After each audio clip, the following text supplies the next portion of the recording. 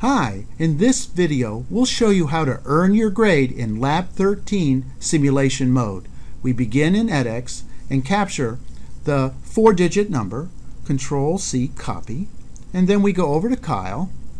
And since we're running in simulation mode, we want to make sure the options are using the simulator. So there's the simulator, and we build it, and then we debug, and now we're running in the debugger in simulation mode.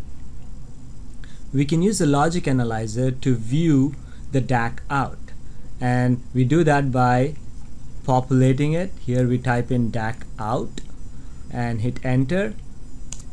And we select it make sure it's analog and we choose the max to be 3.0 or 3.3 volts now we're gonna run the run the grader. So we cut we paste the number here and we hit the grade button.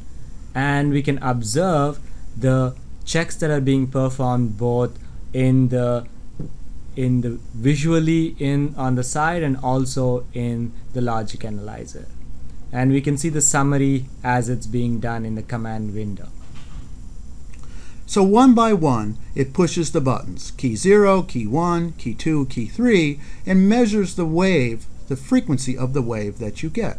And at the end, it'll check to make sure your frequencies are approximately correct.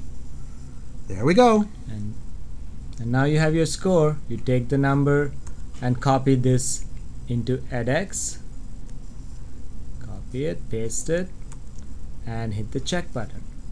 Ta-da! You're done. Now you try.